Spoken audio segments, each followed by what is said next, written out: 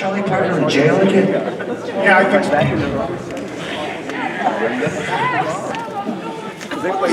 That song, by the way, ladies and gentlemen, is from from our newest album. Uh, it's a live set that we just remastered and released called uh, Half Cleveland Live at the Wi-Fi Cafe, which was sort of a semi-unplugged gig, and we uh, we have it as part of our big record night with Chord special.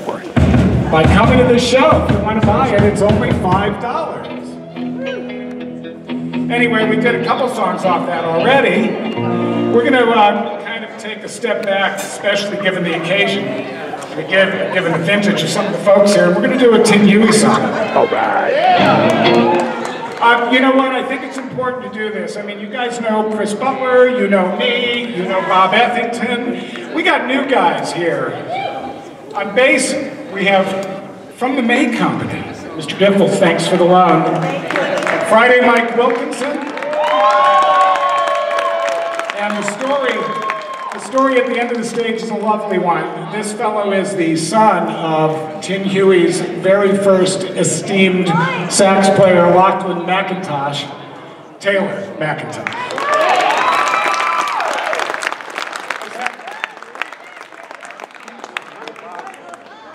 Okay, on drums again, because Chris wasn't listening. Bob Ethington, Unit 5, and every other band in